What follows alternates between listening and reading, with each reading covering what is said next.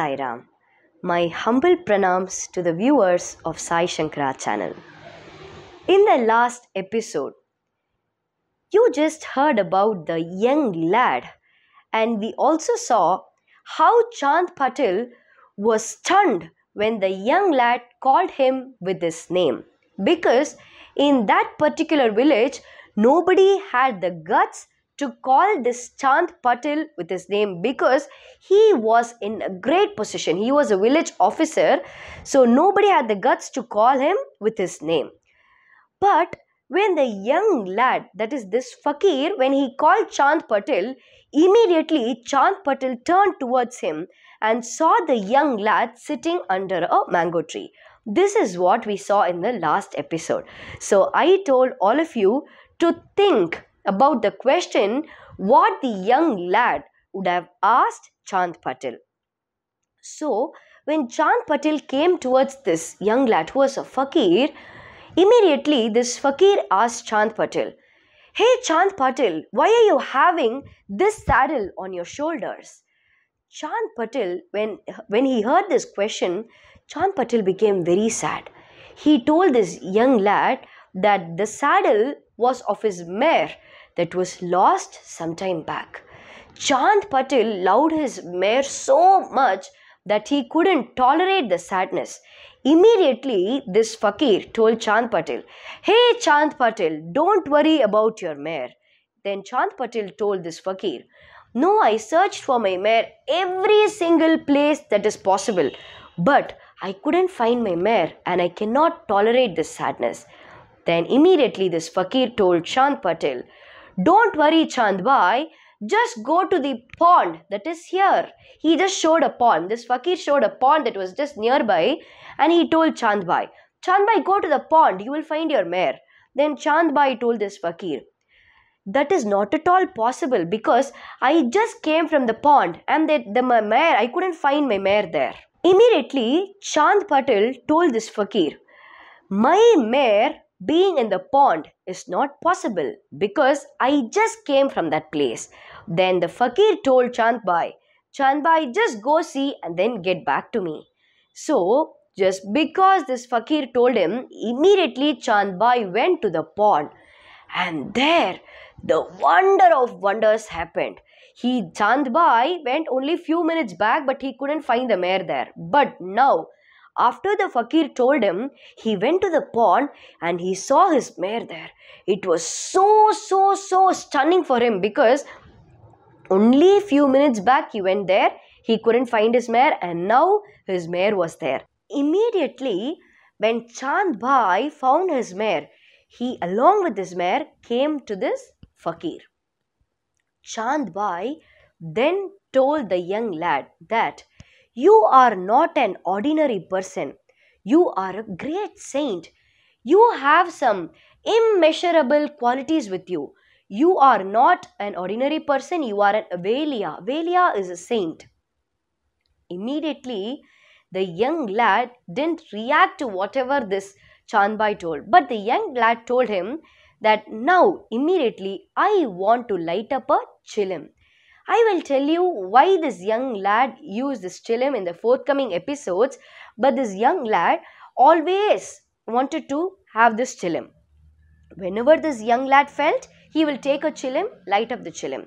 But what this Chand Bhai asked the young lad was, okay, you can have a chilim, you can smoke a chilim now, but to light up the chilim, you need two things. One is fire, another one is water.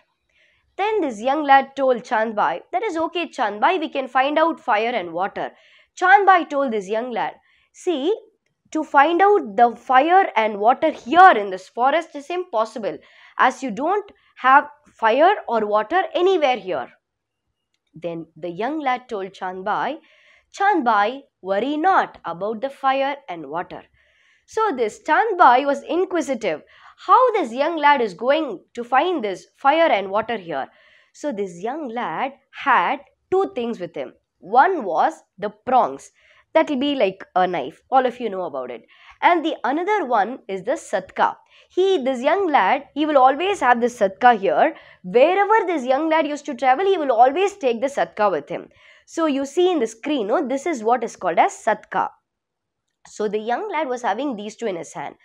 What he did was he took his prongs, he took the prongs, thrust it forcibly into the ground. There came out the live ember. Chand Bhai was shocked. How is this possible? Can anybody just when thrusting a, a prong forcibly into the ground, can we bring out fire? Which is not possible. So he was stunned. Chand Bhai was stunned. Okay, then next thing what he wanted was the water. Chand Bhai was thinking, how is he going to bring about the water here? Immediately, when he was thinking, when Chand Bhai was thinking, this young lad took his satka, again thrust it forcibly into the ground, and there the water began to ooze. And the second time, Chand Bhai confirmed that this young lad is not going to be an ordinary person, he should be a saint. So he was stunned because to light up the chilim, these two things were wanted that is a fire and water. Fire is to light the pipe, and the water is to wet the piece of cloth from which the smoke will be drawn up.